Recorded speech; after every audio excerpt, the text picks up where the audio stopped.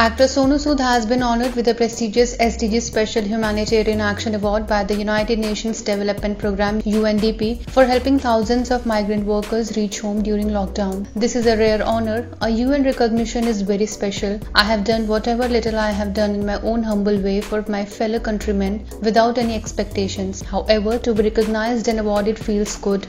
I fully support the UNDP in its endeavors to achieve SDG by 2030. Planet Earth and mankind will great benefit from the implementation of these goals, Sonu said. The award was presented to him via a virtual ceremony. Apart from arranging transportation facilities for migrant workers to help them reach homes during lockdown, Sonu also looked after the educational needs of underprivileged students. He recently launched an initiative to provide full scholarship for higher education to students facing financial challenges. IANS report.